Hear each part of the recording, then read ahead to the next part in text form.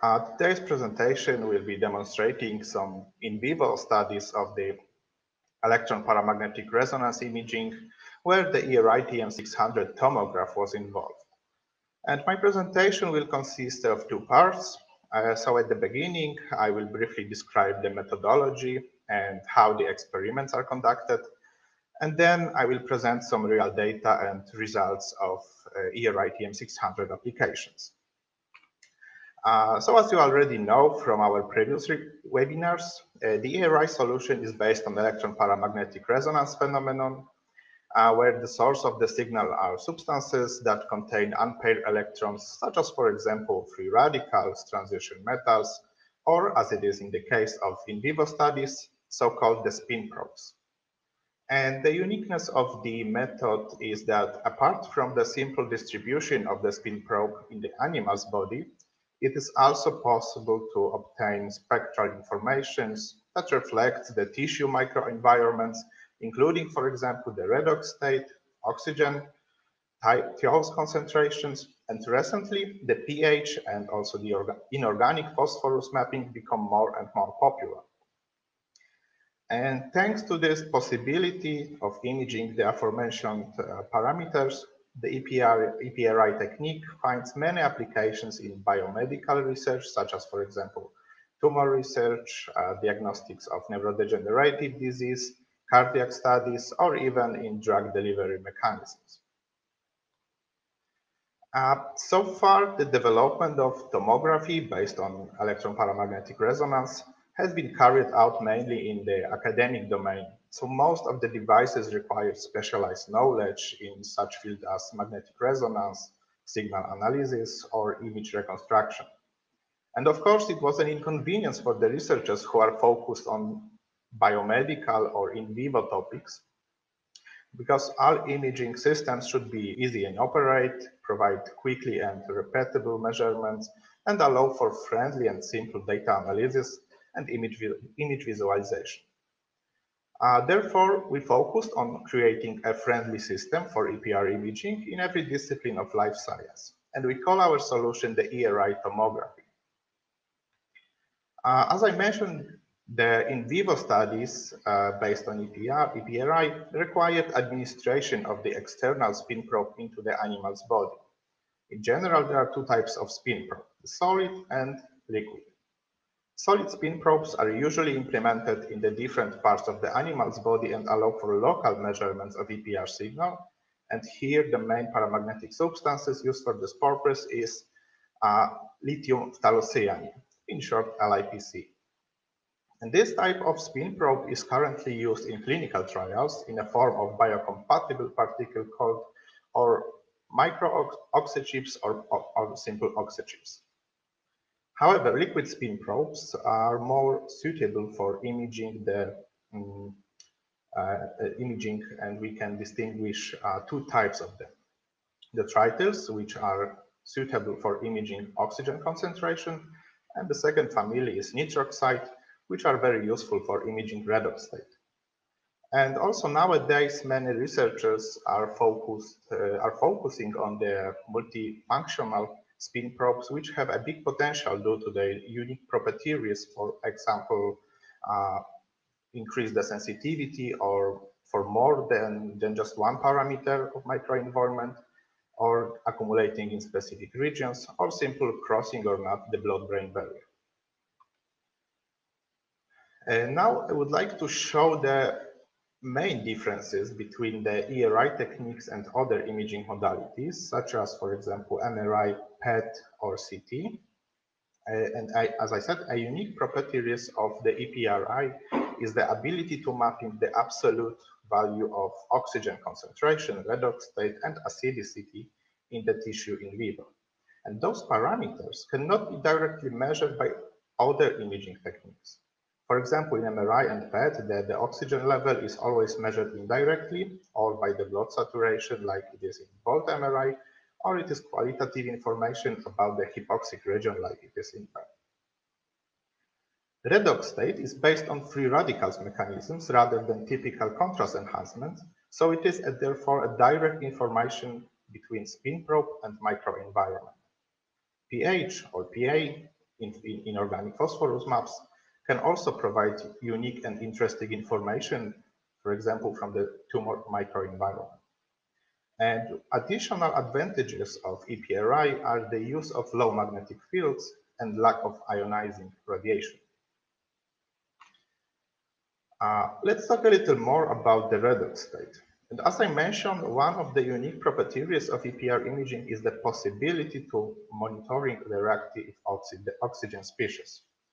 Uh, those reactive oxygen species, of course, are constantly generated in living cells as a side product of uh, oxidative metabolism. And the damaging effects on the cell's components is determi determined by the rate of the generation of ROS and the concentration and efficiency of, an of antioxidants. Factor increasing the rates of uh, ROS generation, such as, for example, uh, ionizing radiation or metal ions, as well as the factor decreasing the accident, accident capacity, leads to oxidative stress causing enhanced, enhanced oxidative damage of cellular components. So in general, we can define oxidative stress as an imbalance between the production of free radicals and the ability of the body to neutralize their harmful effects, which is usually called the redox state. And what is important here is that the, uh, the stronger oxidative stress will produce greater changes in redox state.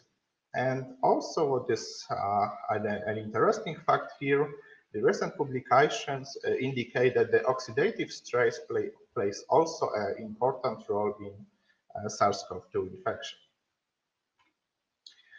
All right, so I think it's so much for the introduction. In the following part, I would like to present you uh, some in vivo results using ERI TM600 tomograph. And as a first example, I would like to show you the classic uh, static imaging of the distribution of spin probe in the animal's body. Uh, here presented images show the distribution of the trityl spin probe in the head and in the lower part of the mouse body. On the left side, we can see the EPR images overlapped on the CT scan. Uh, and on the other side of the slide, there is a three-dimensional visualization of the spin probe distribution in mouse head. Uh, as you can see, the spin probe we used did not cross the blood-brain barrier, which is clearly visible in the presented figures and presented data were published last year in Free Radical Biology and Medicine Journal. Uh, the static images can provide very interesting information about the spin probe biodistribution. However, for in vivo studies, the dynamic imaging is usually much more desirable. And thanks to the possibility of fast and repetitive imaging, it is possible to collect images with high time resolution that provide information about the temporal distribution of the spin probe in the body. And this makes it possible to study the pharmacokinetics of the spin probe in the animal's body and conduct more and conclude more about the physiological processes. And what we mean by the dynamic is repeating the imaging process, possibly in the shortest time, and then tracking the changes in EPR signal intensity for each voxel over the time. And this tracking generates the signal intensity versus time curve, and fitting mathematical models, it is possible to obtain pharmacokinetic parameters. And in our study, we have been used the empirical mathematical model, which is often used in DCE MRI studies.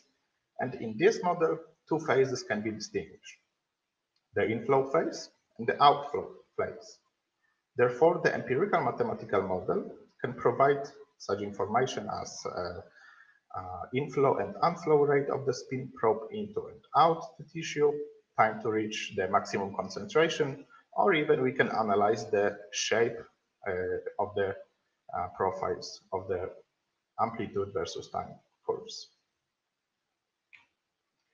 And why we did why did we uh, decide to use the empirical mathematical model? Let's look at the study from 2015. Uh, they, they used uh, the, the, study in the study the usage of uh, MCP spin probe. It was a nitroxide, uh, and the redox state was imaged in a murine model of Alzheimer's disease. Those data suggest that the antioxidant capacity began to decrease in Alzheimer mice from nine months of age. And nevertheless, present dynamic studies using EPR imaging can only analyze the outflow phase of the spin probe, mainly due to the limitation of temporal resolution, and only the high temporal resolution EPR system allows the capture of images related to the early inflow phase. And as we notice, sometimes the out, analyzing only the out, outflow phase does not provide enough information to observe significant changes. And for example, uh, the graph uh, on the right shows the dynamic of signal amplitude in the mouse head for two different probes. One of them penetrates uh, inside the cells. It was the HMP, uh, marked as a blue, and while the other remains only in the extracellular space. It was a 3CP uh, marked as red. The values from the upper table show that analyzing only the outflow phase does not allow to observe changes between the probes. On the other hand, the additional parameters obtained by analyzing both the inflow and the outflow phase provide information in which the differences are clearly visible.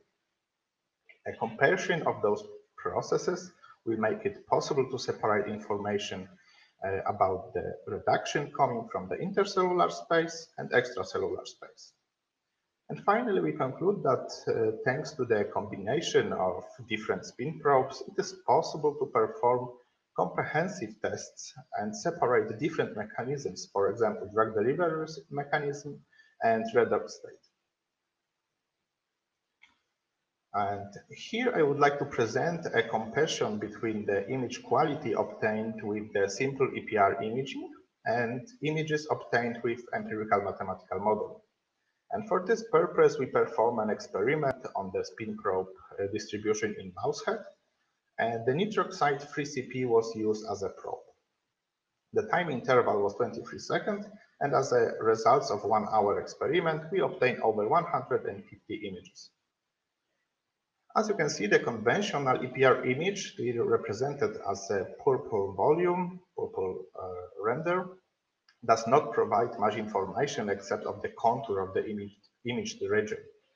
On the other hand, if we analyze the dynamics of the spin probe and visualize one of the parameters describing the transition between the inflow and outflow phase, we were able to obtain much better spatial resolution.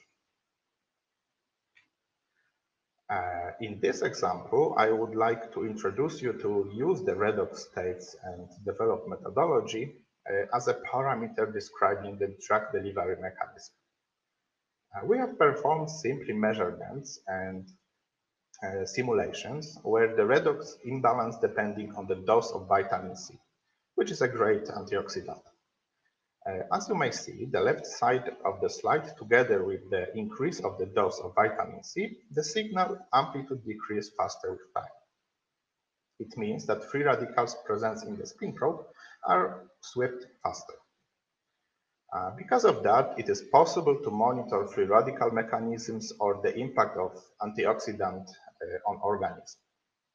Uh, the graph on the right shows the expected in vivo effects during head dynamic examination uh, of mice where the uh, neurodegenerative disease was developed. And similarly to the previous example, only use of the empirical mathematical model makes it possible to observe significant differences between both experiments. Okay, uh, the demonstrated examples were carried out with the use of nitroxide spin probe. And in the, following examples, I will present the results obtained with the uh, use of uh, trityl spin probe. Uh, in the next experiment, we used an OX063 as a spin probe, and its spectral properties ensure us better spatial resolution and which allow us to significantly reduction in measurement time. And in this experiment, a typical 3D imaging took only 4.5 seconds, which during one hour long experiment leads to collect over 700 images. And in this uh, experiment, we imaged the lower part of the mouse body, uh, lower back and lower limbs. And after the, exam after the experiment, uh, we discovered that the, some part of the spin probe accumulated in the bladder were extracted, what would be visible on the next slide. Uh, the graph presents the dynamics of the probe in two different regions. The bladder region, which is color, uh, colored red, and the muscle region in the mouse leg is represented by blue. Uh, in the muscle, the shape of the curve is consistent with empirical mathematical model, and the inflow phase and the outflow phase can be clearly distinguished, while in the bladder, uh, the probe accumulates uh, throughout the experiment, and in the end of the experiment, we may observe the extraction of, of, the, of part of the probe outside the body.